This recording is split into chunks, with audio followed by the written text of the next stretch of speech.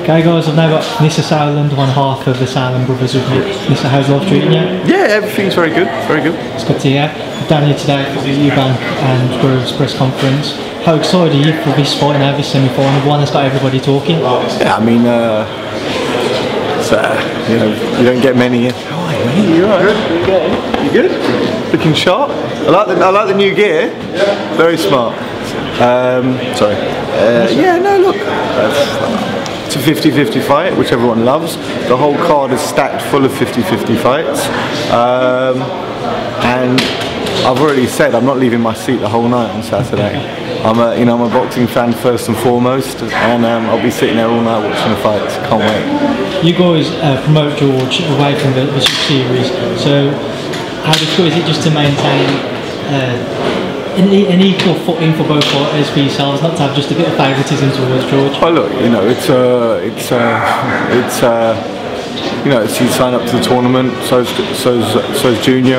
Um, you know, of course, uh, I've known George for a very long time, uh, but you know, it's uh, may the best man win. That's all I can say. What type of fight do you think it's going to be? Is it going to be uh, a, scrap? Is it going to be a matter of skill and biding time? What do you think we should see? I think um, if you look at both fighters, they're not really scrappy fighters. Um, I would say you're going to see a real uh, boxing exhibition. Uh, I can't call the winner, um, but uh, I don't, you know, I expect it to be another five-star event, um, you know, by the Super Series, and uh, that's what we're aiming for every time. Do you think it will go to 12 rounds or do you think someone's going to have the stoppage? Do you know what? I, I don't think it's going 12 rounds, no. And then the other semi-final in the Super Middles is Smith Brown. How do you see that one going?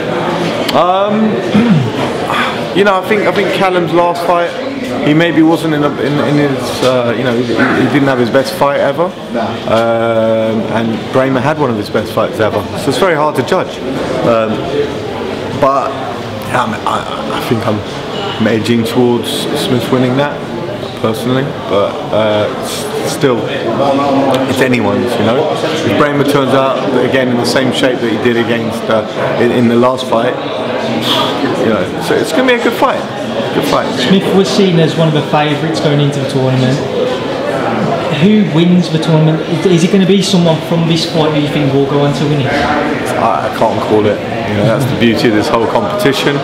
It's uh, you know 50-50 uh, fights the right uh, the whole way through, and uh, it's the same with the semi-finals and the finals. And then you've got the cruiserweight division, which has just pulled up some absolutely amazing fights. And we saw the Usyk fight Yeah. last weekend. You know, what, what, how difficult was it to negotiate to get all of the world champions into the cruiserweight? Um, I mean, you've got to look at the cruiserweights have been a, an overlooked division for, for some reason, um, and that is the aim of this tournament was to, to, to give uh, quality fighters like uh, Usyk, Briedis, and Co. Um, a, platform and uh, a packaging uh, as such, and it's done that. You know, we're, we've got the final obviously in, in Saudi Arabia. Who would have thought? You know, we've been aiming to do that for the last 20 years, and suddenly, you know, having a tournament, having a final, and that's that's, that's brought us to that. You know, and uh, and, and and I think. Um, you know, I, I just think the quality through the cruiserweights is just unbelievable, unbelievable. The Garcia fight, how how how difficult is that one to call? I know you're saying you and Groves, but after the way both of them have performed to this this day, this has even got me. Like, can't No, li- listen, I was I was uh, Usyk, I was an Usyk man right at the beginning, and now I'm. Uh,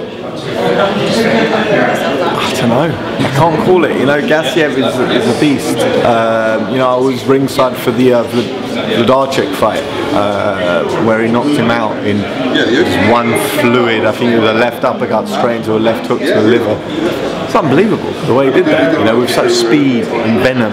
Um, So it's, it's, it's, it's a hard one to call. I just can't call it.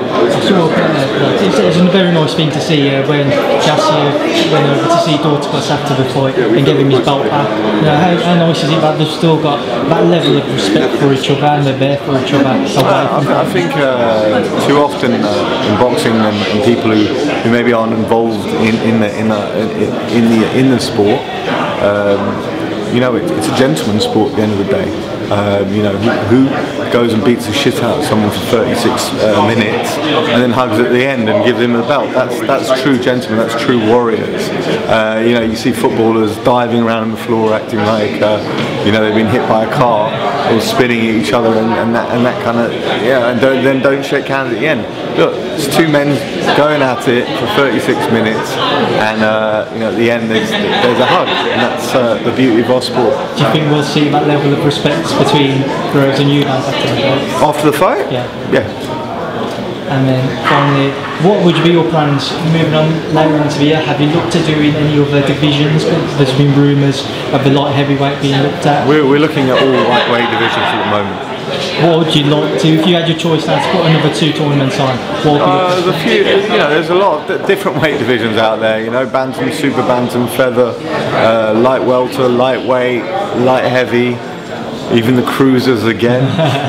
you know, all, all, all of those divisions are something exciting that excite me. Obviously, middleweights, you know, but um, some of these you have to realise that you're dealing with, uh, you know, the Golovkins and Alvarezes. You know, how you're going to get, you know, when they're involved in a super fight um, to, to, to sign up. Uh, the timings just aren't right for certain weight divisions. Mr. Thank you. Cheers, mate. Thanks a lot.